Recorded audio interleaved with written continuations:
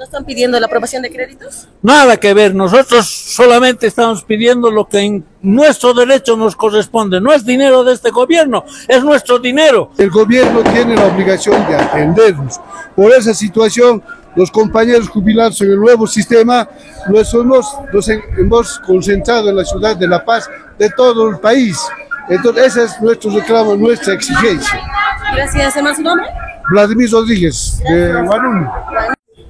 Bueno, nosotros estamos transmitiendo en la Plaza Murillo a esta marcha realizado por la convocatoria de Juan Carlos Guarachi. También hay mucha gente concentrada en este punto donde también observa. Vamos a tratar de consultar. Hermano, ¿qué, qué opinan ustedes sobre esta marcha que está realizando? Es muy mal, muy mal han hecho. Ahorita este, estos señores han dicho que del parte contrario, digo parte a favor del que está viniendo del Juan Carlos Guarachi. Ha dicho que vamos a hacer, vamos a obligar a los senadores, diputados, para que presten, que firmen para el presidente. Está muy mal. ¿Hasta cuánto vamos a llegar? ¿Hasta cuánto vamos a, hasta cuello? Hasta nuestros nietos van a Bol- de Bolivia, hermana. No puede ser de esa manera. También, claro, no estamos de acuerdo el, el- pueblo Bolivia, hermano.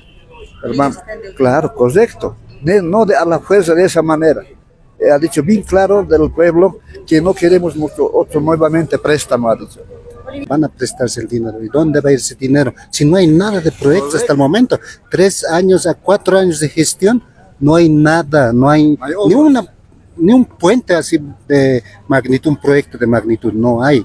No hay, señores, entonces yo creo que no estoy de acuerdo. Mucha gente no debe estar de acuerdo con, con los préstamos, porque al final vamos a pagar nosotros, el pueblo boliviano. Es obligada, es obligada porque realmente estos eh, señores dirigentes son, pues ya Lu- Luisa Arce, o sea, no es, pues eh, ahorita eso, no es, todos son obligados, señores. Muchas gracias. Gracias.